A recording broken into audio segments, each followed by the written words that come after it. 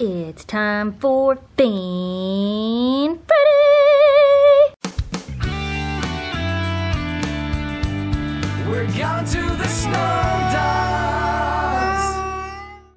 We're doing Fan Friday inside today because it's currently raining, so we get to see adorable, snuggly, cuddly Oakley.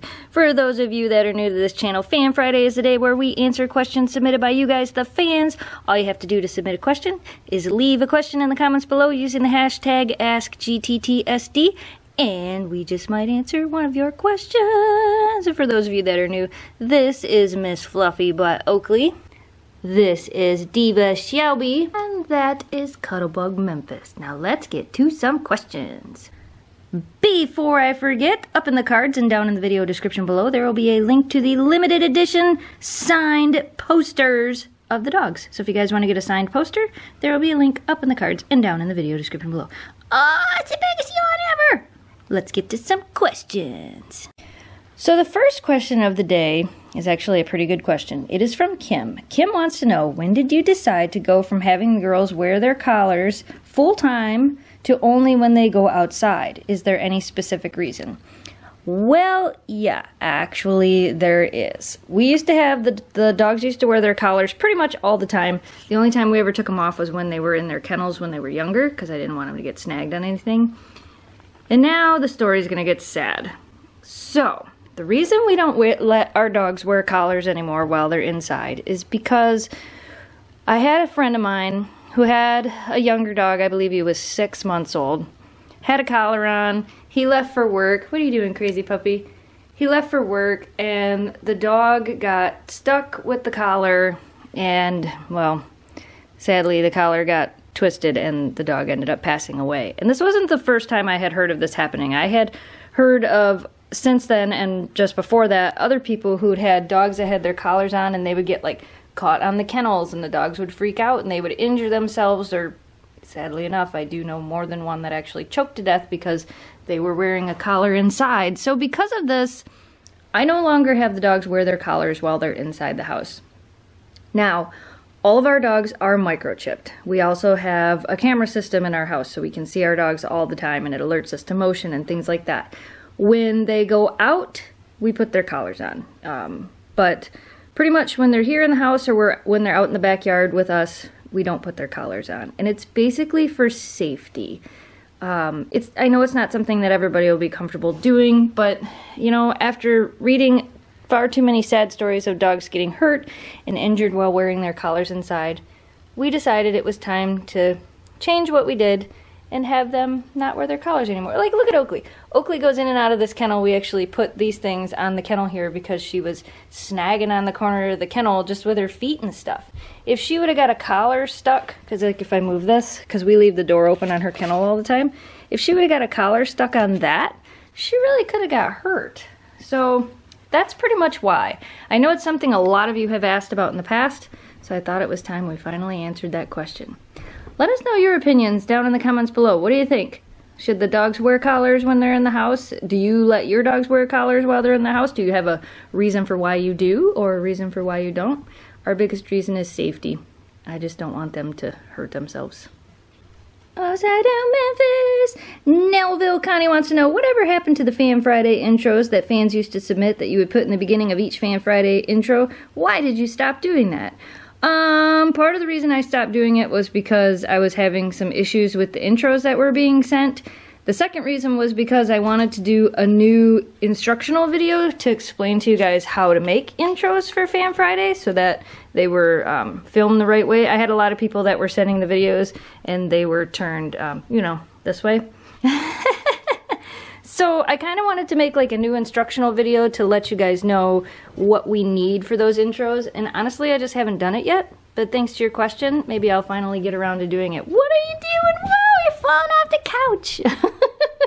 couch.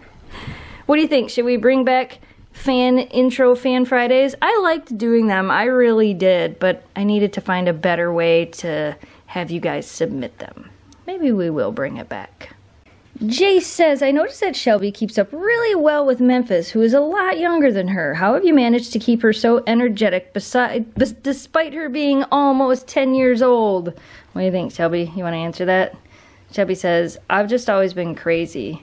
Realistically, Memphis is not as energetic as Shelby was when Shelby was Memphis's age. When Shelby was four years old, Shelby was insane, weren't you? Shelby was destructive and she just was insane. So I think Shelby just has a high energy level to start. What was that? Did you hear that? That squeaky ball? Did you hear that? Yeah, Shelby just pretty much has a high energy level to start. So I don't think it's very hard for her to keep up with Memphis. Plus, even though she's almost 10 years old, Huskies usually live 12 to 15 years. And if you keep them active and you keep them moving, they usually stay pretty active and, you know, can be pretty energetic. Unless they're Oakley. And then her favorite thing to do is nap in this kennel. What do you think, Oakley? She's like, You're still talking, and I can't sleep when you're talking. we got another really good question this week. What is your advice on getting a husky as your first dog? For example, should you get a puppy? Should you get one from a shelter? And why? Well, again, this is going to be, this is all based on opinion if your first dog is a husky, you're in for a lot of um, insanity because huskies are very high energy dogs. And if you've never had a dog before, you're probably going to go through a lot of ups and downs, really learning how to train the dog and how to work with the dog and things like that. Now, if you get one from a shelter, you might get lucky and you might get a dog that's a little bit older, already has some training, isn't as crazy, maybe already has some good manners. But you could also end up with one that has bad habits and bad manners, and now not only are you working with the fact that you've never had a husky before, but now you're working with the fact that you have a husky that's already got bad manners and not a whole lot of training. So it's it's hard. Like I you're the cutest thing ever. I always feel like you should try to adopt, but sometimes a puppy is a better route. I would say being your first husky, well, you might be better off not being a husky as your first puppy, but I would say probably as a puppy because I think then you're going to learn a lot more about the personality of huskies and things like that more than if you adopt one. Bless you! Oh, she gonna get you because you're sneezing. She doesn't like sneezes. You should know that. She doesn't like sneezes. uh, I don't know. I mean, that's a really hard question to answer. How about you guys answer it in the comments below. What do you think? If you were to get a husky as your first dog, or if you've been through this before, our first dog was a husky. The first dog that Jamie and I ever had together was a husky, and we got her as a puppy.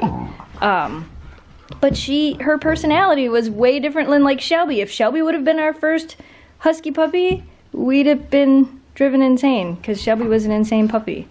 So that's a hard one. And then Oakley was our rescue dog. You know, we adopted her and she was older and she was difficult too because she had a lot of quirks and habits and things that we had to work with with her. So I think no matter what, it's going to be a lot of work and a lot of responsibility. So that's the biggest thing you're going to have to remember. We got some mail. We got some mail. And Memphis is excited about it. We got some mail from Connie from Hong Kong. She sent a couple of toys, which apparently Memphis wants that one. Want that one? You could you could take it. I mean, I could take the paper off of it first, but you don't usually even. Wow, Memphis took a toy. Wow. Memphis doesn't normally play with a whole lot of toys. and Connie also sent us, look at these towels. They're so cool. Look at there's Memphis in her spirit hood. And there's Shelby. Those are pretty cool. Hey, I was trying to show them to the audience. You just, you just you just want to lay on them? Alright, you just lay on them then. You do that. oh my goodness. There's a giant box of things from Claudia. It says, I wanted to send something for the other girls as well. I hope they enjoy their presents. Happy early birthday, Memphis, from Claudia. Memphis, look, it's your favorite thing in the world. Ready? Oh, I can't do it one-handed. one more, one more, one more. Ready? Ready? Ready? Oh, let's see what's in here. Look at how cute. Okay, all right. Well, here you go. Take it. Shelby took the elephant. Took the pink elephant. Who wants this one? I bet Oakley wants this one. Oakley's like, wait, I would take, I would take that one. You got it? You got, you got it? This is like, um, will you take this paper off of it? I don't like the paper on it. Oh, here's a skunk. Who's gonna take that? uh, oh goodness, look at this one skinnies, more things. Oh my. There's a big rabbit. Let me open this. Hold on. Oh, look in some treats. You want a treat too? All right, let me open some stuff. All right, a cookie for you. A cookie for Sal for Memphis because she took it, and a cookie for Shelby. All right, all the cookies. Now, who wants this big giant bunny? Want that big giant bunny? She's like, I'm still eating the cookies. Hold on. well, apparently Shelby took the bunny. Thanks for sending all that cool stuff. I found the raccoon. It was just in a different package. There you go, Oakley. Since you love your raccoons. She's like, I do love raccoons, you guys. They're my favorite toy. These drawings are from Haley. Haley also lives in Michigan, just like we do. We got a letter in this coloring from Brooklyn, and Brooklyn wants to know if we get tornadoes where we live. Uh, not very often, but we have had some tornado warnings around here. And do our dogs get along with other dogs? Yes, pretty much. They pretty much get along with all other dogs. Usually. Very rarely do they not get along with another dog. We got a letter from Jack, and Jack wants to know if we have any suggestions on how to get more experience with training dogs. Uh, he wants to, Jack wants to get certified as a dog trainer. I would suggest maybe volunteering at your local shelters, maybe seeing if you can find a trainer in your area that will let you apprentice underneath them so you can learn some different things. And then, of course, YouTube videos. YouTube videos are a great way to learn how to train animals. So there's some suggestions for you. We got a letter from Sasha, Manitou, and Marion with a couple of questions. First one was, who is Greg? Greg's just a good friend of ours. Shelby's like, Greg? I know Greg. Greg is Shelby's favorite person. and who is Rebecca? Rebecca is my sister. Both Greg and Rebecca help us out from time to times and watch the dogs whenever we have to leave for longer periods of time. They're, um, like I said, Greg's a really good friend of ours, and I guess we can call him our dog sitter, and Rebecca's my sister, and she's our other dog sitter. And we got this beautiful drawing of Shiloh from Grace. Alright you guys, that's all we have for Fan Friday today. Thanks for watching, thanks for subscribing. If you did not do so yet, on Monday, we put up a new treat video. And on Wednesday, we put up a new adventure dog vlog video where we took the dogs to Tahquamenon Falls. I had some of you messaging me telling me that you didn't get that video in your subscription box.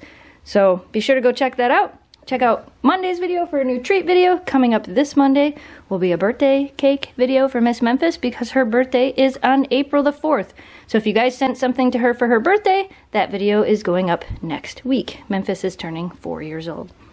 Alright, you guys. Also, if you want to see more of who we are and what we do, you can head on over to youtube.com slash snowdogsvlogs and check out our vlog channel. Alright, you guys, if you're new to this channel and you like what you saw, don't forget to hit that subscribe button. Like this video and share it with your friends to help us grow the audience. As always, thanks for watching, thanks for subscribing, stay positive, dream big, and we will see you again soon. Bye, guys. Let's, let's just go right here and take a nap with Oakley. Is it nap time? Totally nap time. oh, there we go. We take a nap. Lots of fun, lots of won't you come into